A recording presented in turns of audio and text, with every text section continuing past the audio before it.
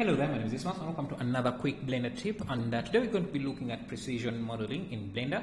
Uh, just a way to get uh, your dimensions right and everything like that. So uh, mostly this is impo important mostly in uh, ArchViz uh, visualization. So uh, if we wanted to if we added a plane like this and we wanted to know its dimensions you can go to edit mode and under the overlays switch on the length of that object. So edge length and you can see each edge when you select each edge any edge it will show you the length of that edge and uh, when you move it uh, the length of the, the attached edges uh, will update as well as you can see. So this can help you to know what to how you're modeling. So and uh, you can also use uh, the the measure tool to measure distances. Uh, but uh, what I found that uh, if you say you're, you're trying to create a room and you don't know how tall you want to make it,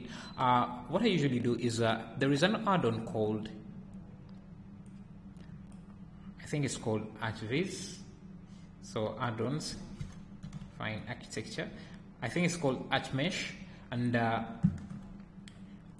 I've already activated it and what I use it for is usually to get a measure of uh, the height of uh, the doors that I want to make. So if you add a door, it can give you a baseline to start from and uh, the door, and these models are measured to, uh, are using world scales, real scales. So uh, this is uh, about two meters, which is roughly the average height of a door. So you can use that as a base measuring a point to measure the door, but you need to make sure that you have the arc ArchMesh uh, add-on enabled uh, to use uh, these models. And they have a few good models that you can use.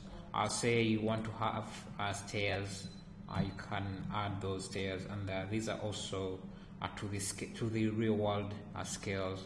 And there are a few settings you have there if you want to use. Yeah you can play around with that and see. But this is what I usually use as a baseline too because if you have the height of the door you can easily measure uh, how you want how wide you want the rooms to be and how tall you want the rooms to be. So yeah. And uh, say you wanted to use angles uh, you can also do the same. So let's say you want you you were making a roof but I don't know how you, you, you're not sure what angle it should be. I in edit mode again you can go under overlays and uh, this setting these settings won't be available if you're not in edit mode. They're only available when you're in edit mode. So make sure you're in edit mode and then under overlays uh, you will find where you found uh, the length. Uh, you should find the angle uh, face angle uh, face area things like that and they should show you the different angles so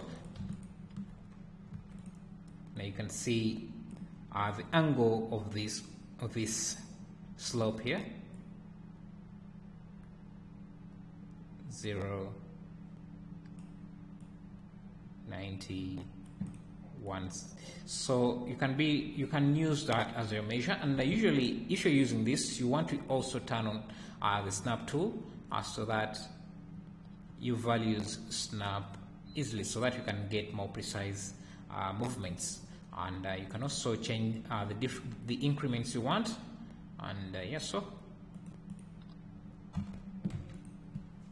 Yeah that's what I want to show you. Thank you for watching